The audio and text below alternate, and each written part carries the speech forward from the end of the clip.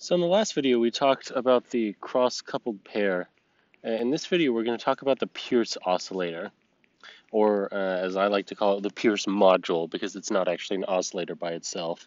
Uh, so remember that we said if we have uh, an imperfect um, LC circuit, or we've got a capacitor and an inductor, which would give us a perfect oscillator, we've got this annoying resistor here, that we can get rid of this resistor uh, by placing a negative resistance in series with it to cancel it out. And we achieved that negative resistance last time uh, by using the cross-coupled pair. So essentially, by properly configuring uh, two transistors, in this case they're NMOS, but they can be PMOS transistors, uh, you can achieve a small signal uh, in, input impedance that has a negative real part. So it's got a negative real part plus some uh, reactive part, and that's generally capacitive, so really it would be uh, minus. Um, so, okay, uh, but the cross-coupled pair uses two transistors, so is there any way to achieve uh, a negative impedance with only one transistor? And it turns out that the answer is yes. So that is called the Pierce oscillator, and this is the circuit. Uh, without further ado, So it's just a single NMOS and it's connected to two capacitors. The one on the left I'm going to label C1, the one on the right is C2. And then NMOS. And the impedance is looking into this port, ZN. And so this is the circuit. And you'll notice that I have not drawn a ground on this circuit, and there's a very good reason for that. Uh, I could, if I wanted to, have drawn a ground here, and that's what uh, that's what we will do in analyzing the circuit. But we don't uh, we we don't want to do that because we're going to do some interesting things uh, playing around with this circuit, uh, things that you may not have seen before, and I certainly hadn't until uh, until up to this point. So okay, uh, let's. So I've said that the input impedance has a negative real part. Well, you might say, well, prove it. Uh, okay, so let's just analyze the circuit. So if we draw the small signal model and we draw a, uh, a source here, it can be a voltage source or a current source, uh, and I actually like to use a simultaneous voltage and current source. But so if we draw one here, uh, let's go this direction. It doesn't actually matter which direction we go, but uh, you'll get the same result either way. So we've got a source, uh, a test source that will allow us to determine the impedance. We've, we're going to ignore the output resistance of the transistor for simplicity, uh, but the result would be just slightly modified. Uh, so this is GM VGS, and then we've got a capacitor over here. And remember, I said that we could have draw, drawn the ground down on the bottom if we wanted to, but I wasn't going to do that just yet. Now, if we want to perform node analysis on this circuit, we do want to define a reference. And since this is looks to be the most common node, I'm going to define this as ground. And remember, we're free to do that. Uh, we can define whatever node we want as ground. So this is the gate, uh, has voltage VG. This is the drain of the transistor VD. And so we want to solve this circuit. Uh, now, the easiest way I've found to do this is just solve for Ix directly. So Ix uh, is equal to just the current flowing out of that same node. So GM VGS, uh, but since VS, this is VS down here, since VS is equal to zero, it's just GM VG. Uh, and then, so this is C1, this is C2, uh, plus VD over Z2. And Z2 is just uh, 1 over J omega C2. It's the impedance of the capacitor. I'm just shorthanding it so that it uh, makes our nice our lives nice and simple. Uh, but the interesting part about this uh, way of solving the circuit, and this actually works for all transistor small signal models where you want to find the impedance across a certain node. Uh, VG we can just find directly with IX. So VG is just minus IX times the impedance of C, uh, C1, or it's the voltage drop uh, across this capacitor. So it's going to be a, negative voltage. So VG is just that. Um, and VD, similarly, uh, we can find using VG, uh, which now we know uh, it's VG or minus IXZ1 plus VX. Because we want the voltage drop across the capacitor plus the voltage drop across the source, but sources use the opposite sign convention, so we're actually increasing our voltage. Um, okay, now we have our full equation.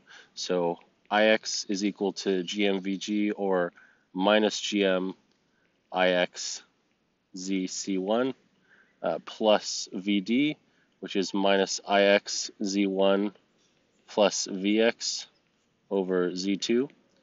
Uh, and then that's all we need. So we can factor the IXs and the VXs. So IX, we've got a 1, we've got a GM Z1, and we've got a, what is that, a Z1 over Z2. And then for Vx, it's just Vx over Z2. So if we multiply both sides by Z2 and divide by Ix, we get Z2 plus uh, Z1 plus GM Z1 Z2 equals uh, Vx over Ix. And so I just uh, I rearranged the order and multiplied by, by Z2. Well, that's just 1 over j omega C2, the impedance of capacitor 2, plus 1 over j omega C1, plus Gm over j omega C1 times j omega C2. We've got two j's, so we've got uh, 1 over g omega. Over here it's C equivalent, uh, where C equivalent is just the two capacitors in series, C1, C2 over C1 plus C2. And then, so this is our imaginary part. Plus, since the two j's uh, cancel out to give negative 1, uh, we have minus gm over omega squared C1 C2. So that is the sorry, uh, that is the input impedance of our Pierce oscillator. That's our final result, and that's exact. That's not using any any approximations except that the circuit behaves linearly, which generally we uh, we need to do if we want to be sane. So we can model this circuit, uh, which I'm going to redraw just right here.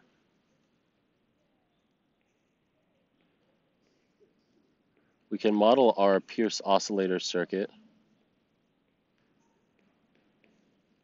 This is C1, this is C2. And remember, I'm not defining this as ground out of restraint uh, because that's that will help us much in future videos. Uh, Zn. And then we, we just model this as a series resistance or negative R and a series capacitance. CEQ. And again, CEQ is as above. It's just the series combination of the two capacitors. So that's cool. Uh, basically, we got what, instead of two transistors and no capacitors, we got, or two transistors and parasitics, we got one transistor, so we only need to use one active device. And if we're using really big transistors, like really high frequency uh, large transistors made out of gallium nitride or something, then we actually want to minimize the number of transistors and we can have uh, off-chip capacitors are less of an issue. So that's that's why we might want to use this uh, this option. And so that gives us a negative resistance, but we're not uh, finished with the oscillator part of it. Remember, we have to, in order to get the circuit to oscillate, we need to connect uh, a resistance of the same value this is CEQ, and an inductor in order for the circuit to actually oscillate. And then, so here, this is this was our old uh, port, and I'm actually going to redraw this in red. So we need to connect an inductor, or sorry, a resistor and an inductor here in order, wow, those are ugly, uh, in order for the circuit to oscillate. So uh, in reality, we can just connect an inductor, uh, physically speaking, because every inductor is going to have some series loss to it, R loss. Uh, so we we don't need to actually connect a physical resistor. Where that the resistance is generally going to be uh, intrinsic to the inductor, and then we have an oscillator here, and the frequency of oscillation, uh, omega osc or omega naught, if you prefer, is just one over the square root of L CEQ. And we're done. So that is the Pierce oscillator. In my opinion, that's the easiest way to analyze it. And in the next video, I'm going to show you why I was so insistent on not calling the bottom node ground until the last possible moment. And uh, that's going to lead straight into analysis of the Colpitts oscillator as well as other oscillators uh, that are based around this topology. So uh, I believe that every uh, single transistor um, oscillator can be derived from this Pierce oscillator topology, which uh, I think is, is, is pretty neat.